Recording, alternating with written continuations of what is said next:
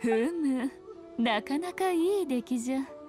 ダンジラの決意と努力が伝わってくるぞ。じゃあオイラたちはこれでライデン将軍に勝てるのか？まあ全くかなわないじゃろうな。おい！じゃあ全部無駄じゃない？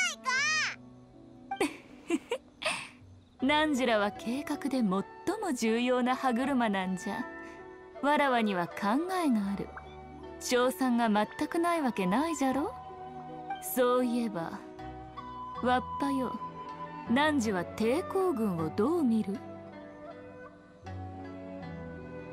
うむ確かに。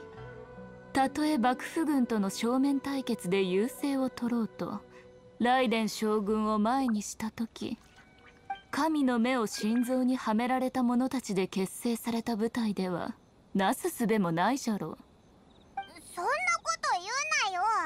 こいつはまだメカジキ2番隊の隊長なんだぞ。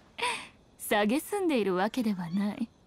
むしろ彼らが弱く神の目を失った者たちであるからこそより大切にしたいと思う意志があるのじゃとにかく計画通りに行けば少しは役に立つやつらじゃろう。おっとそろそろ時間じゃ。わらわにはもう一人客人が来る。話の続きは鳴神大社に戻ってからじゃ。なんでいきなりお客さんの接待に行くんだよ。